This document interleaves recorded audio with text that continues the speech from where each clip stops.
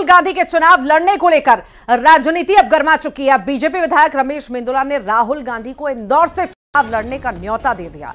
Social media पर रमेश मेंदुला ने MP Congress को संबोधित करते हुए लिखा कि, आप बेचारे जीतू पटवारी को क्या बलि का बकरा बना रहे हैं? मेरा आग्रह है कि उनकी जगह आप इंदौर से राहुल गांधी को टिकट दीजिए।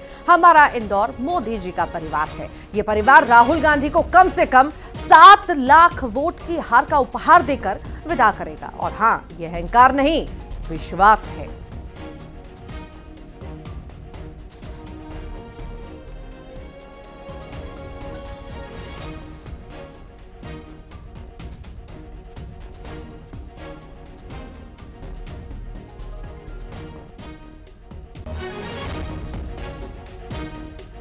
तो राहुल गांधी को चुनाव लड़ने का न्योता जो है बीजेपी की तरफ़ से दिया गया है। रमेश मेंदोला ने ये न्योता दिया है। उनका ये कहना है कि कहाँ, जीतू पटवारी को बलि का बकरा बना रहे हैं। राहुल गांधी को भेजिए, यहाँ से चुनाव लड़वाइए।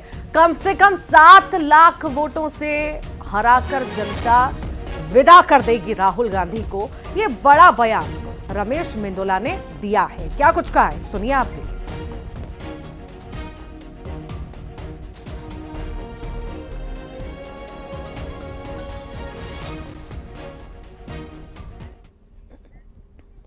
इस बीच कांग्रेस के पूर्व विधायक कुणाल चौधरी ने भाजपा विधायक रमेश मेंदोला पर पलटवार करते हुए कहा कि कई बार चुनाव जीतने के बावजूद भी उन्हें अब तक मंत्री नहीं बनाया गया। वो लाइमलाइट में रहने के लिए इस तरह के बयान देते रहे हैं। तो वहीं बीजेपी ने राहुल गांधी की अपनी परंपरागत और मेठी और रायबरेली को छोड़ने पर सवाल खड़े किए हैं।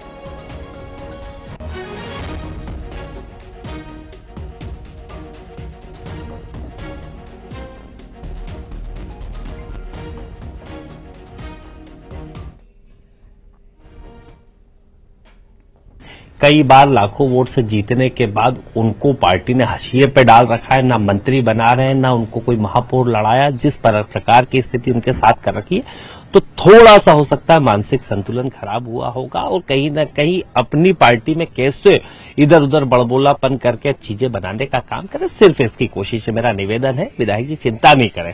राहुल जी वायनाड से सांसद है, मेरा आपसे निवेदन है कि मोदी जी से निवेदन करो कि वो वायनाड से जाके चुनाव लड़े।